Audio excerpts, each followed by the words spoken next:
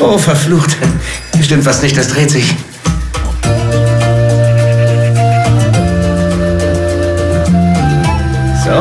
Das war's. Es wimmelt von Stromdieben in deinem Dorf. Keiner von euch bezahlt was. Ihr solltet an Gott denken, wenn ihr stehlt. Was meinst du damit? Na, was meine ich wohl? Den Strom natürlich.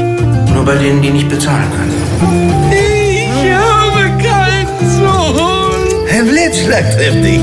Oder da oben ein Stromschlag. Dann werden alle weiblichen Hormone aus dem Körper gebrannt. Dann machst und sie sind weggebrannt.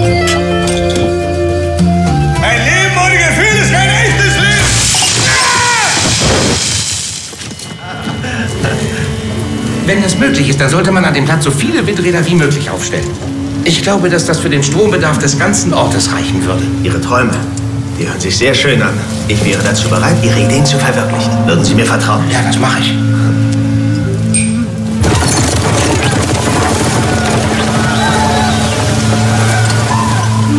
Wie geht's meinem Revolutionär? Ich bleib für immer ohne Arbeit.